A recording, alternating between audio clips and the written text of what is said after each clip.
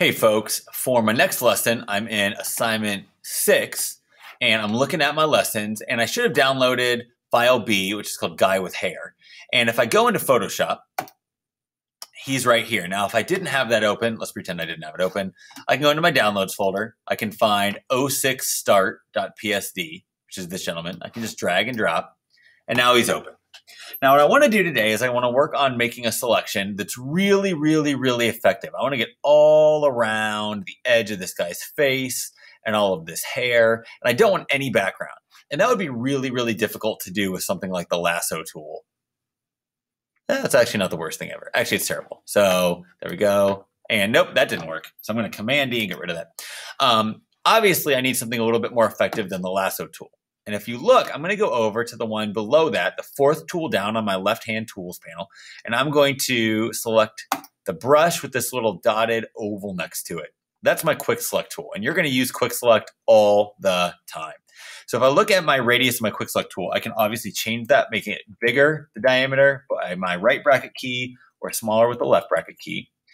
Also, I can also go ahead and I can make part of a selection and you'll see I click and I drag a little bit and it selected most of the gentleman. Now the issue is it didn't get his nose, it didn't get the back of his shirt. Now this uh, brush is huge, so I'm gonna make it smaller with my bracket key. And I can go in and I can click and make sure the nose and the glasses are included and the back of the shirt. But I've used my quick select tool to select a pretty good dotted line around the edge of uh, this guy right here. Um, if it's selected too much accidentally, I can go ahead and take away from the selection by holding down the option key. See how it changes this to be a minus sign inside. And now I can go and click and drag to get rid of stuff as well. And I can release. So I got my selection. It's still not good enough though. Some of the background is still going to be showing.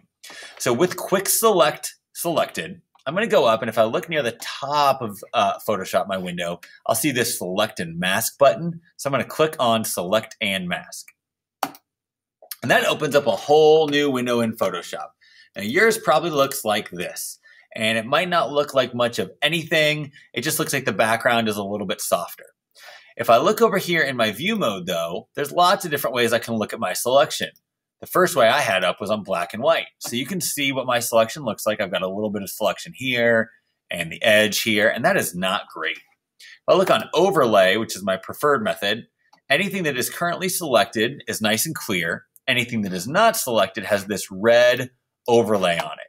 And so I can see how well things are selected. So we're going to leave it on the red overlay view so I can see my selection. I'm also going to zoom in a little bit. And I'm going to now go ahead and work on refining my selection to make it a better selection than what I had originally. Now, if I'm over here on the left, I've got a couple different brushes available to me. So I'm going to stay with quick select. I can make my brush bigger or smaller. And I'm just going to kind of navigate around the edge and see, okay, where does it need a little love? Oops, I missed this top part of the glasses. So I'm going to quick select that. The hair looks decent for now. The shirt is pretty good. So I went all around. I feel pretty good about that. Now it's not great. You can see how there's this kind of like edge halo of selection. So there's some things I can do to clean up my selection. First of all, um, I can go in and if I look at all my refinements over here, there's different things I can do to change my refinements. So if I smooth my refinement a little bit, that'll just make it less fuzzy and jagged. If I look in the black and white mode, you can see right now it's a pretty smooth selection. If I were to change that and make it a really smooth selection, see how it's smoothed out all those bumps, which is obviously not good. Now, if we had no smooth, it's a little jagged and pixely. So again, I'm going to set this to a very low number, maybe three. I can also go and I can make sure that I'm feathering the edge of my selection. So I go to my feather slider and I might have that at one, eh, maybe two pixels. And you can see it made that selection a little bit softer. Again, I can look in black and white and it's a nice soft edge. If I have no feathering, then it's a very hard and crisp edge. So I'm going to feather that just a little bit. The biggest thing I want to look at right now, personally, I want to look at is my shift edge. Now this shows the edge of my selection. If you zoom way in, you can see there's this kind of like halo around his nose and mouth. And if I use my shift edge, I can move where that selection starts and ends. If I move, let me zoom out a little bit. If I move it away to the right, you can see how my selection is actually moving out away from the face, which is definitely not good because now I get this weird edge where I could see the background on my selection. If I go too far to the left, though, now it starts to come and come into and overlap onto his body and cut off the edge of his face. That's not good either. Usually the shift edge is fine at zero, but I sometimes nudge it in, I don't know, like 4%. So I'm going to set mine to negative four because that looks good to me. I might still see a little bit of an edge, but if I look in onion skin mode or marching ants mode, it looks like it's pretty close to the edge of where his face should be. Now I'm going to go back into overlay and there's a couple areas where I really need to clean it up a little bit. Now quick select is great, but sometimes I need to just use a regular brush. So if I look over here on my left, I've got all these brushes. If I go down to the third brush, that's just a standard brush. It doesn't select things for me. It only makes a selection where I have the brush radius.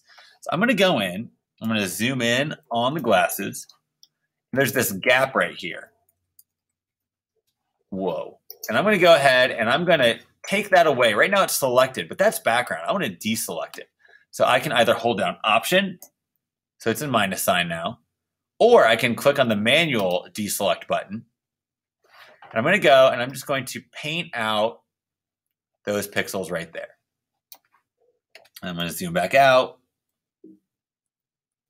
I got rid of them. And I can see what that looks like if I go to black and white. Oh, see now there's a little gap. So that's good. That worked out. I'm going to go back to my plus brush just because it's always good to have that as the default. And there, I painted away. Now I'm also going to go down to the lips. There's this little gap right here in the mouth. So I'm going to, again, take away from my selection. And I'm just going to brush that gap away a little bit so that it's a little bit of a better selection. And again, I can go over to my view mode and I can check black and white. Looks good. And marching ants looks pretty good. Here looks like I need to take away a little bit and move this in just a little bit. So I can just go and I can kind of paint in. Here it looks like I need to add in a little bit more selection right here. May take away a little bit right there. You just kind of have to brush around until you get this, what pixels you want, what pixels you don't. You can do that manually. Pretty good. All right, I'm going to go back on overlay. The one issue I've got is if I zoom out all the way, look at this hair. Everything here on the face looks selected well. The hair does not. And that's where I'm going to go. And I'm going to use my favorite little tool in the refine and mask window. And that is the second brush down, the refine edge brush. Refine edge brush tool is what it's called. And this is going to pick up really subtle changes and make a really good selection. Now, I only want to use the refine edge brush on things like hair, or like the edge of a tree or smoke or something with a soft, hazy edge, which is hard to select manually. You'll notice if I zoom in a little bit though, I can go in and currently if I were to go to my black and white view mode, right now his hair is just this blob. But if I were to brush along this edge, click and hold, it's gonna get a little bit better. So I'm gonna go back to overlay. I'm gonna start right here where the hair is. I don't wanna do it on the face or down here. I only want to do it with there's hair, but I'm going to take my brush, I'm going to click, I'm just going to drag my mouse while I hold it down kind of along the edge where the hair stops and the background begins. And you can see that some of these white gaps in between hairs is starting to become red and it's starting to clean up my selection a little bit. If I look at my black and white mode, look how much better that selection is now it's way more refined than it is back here. It's really picking up the different hairs um, it's doing a pretty good job. So now I'm going to go up and I'm just going to continue to do that here. And again, I'm trying not to go over the same area too many times, maybe two or three passes tops. That's going to give me a good edge. I'm going to go all the way around the edge of the hair. I'm going to stop when I get to the bottom of the neck. And again, if I go to black and white mode, that's a much cleaner selection, much more accurate selection of hair. So if I go into my overlay, that looks pretty good. If I go into my marching ants, it doesn't look great there because it can't really show all of that subtle shading. So that's why I like to check it in between black and white and overlay. Now I've got my selection exactly the way I want it. I'm really happy with it. But I've got an issue. I need to make sure this is outputting to the right place. So if you have output settings but nothing else underneath it, you need to uh, click the drop down arrow. And for your output settings, you want to make sure it's outputting to a layer mask because we did all this so that we can make a mask and mask away this background. So I'm going to output it to layer mask and then I'm going to click OK. Now what it did was it just cut out this guy and now there's no background. I actually don't love how my refined edge turned out. So I can always go back into enter select and mask and I can clean up what this is doing. The feathering might be the issue here. Let's drop that down. Let's see if that changes things a little bit. Eh, a little. But I might need to go back in later and fix that up even more. Now, if I turn my background on, this magazine background, you'll see a couple things over here if you look at your layers panel. One, I've still got the photo with the original background but it's masked out. The background is because if you look at my mask, black pixels show that something is covered up. White pixels, which would be the shape of the guy, show that he's still showing. My magazine background is separate. I can turn it on or off. Turn the guy on or off. But I want the guy on with the mask, and I want the magazine background. Now the mask stays clipped, chained. You see this little chain link to the photo. So if I move the photo, the mask moves with it.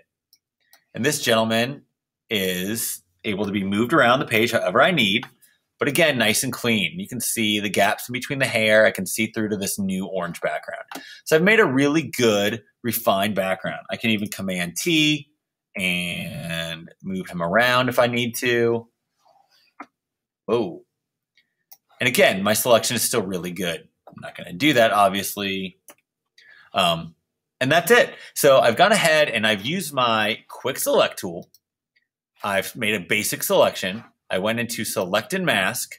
I adjusted and refined my edges and I outputted it to a layer mask. And now I've got this really nice selection in Photoshop.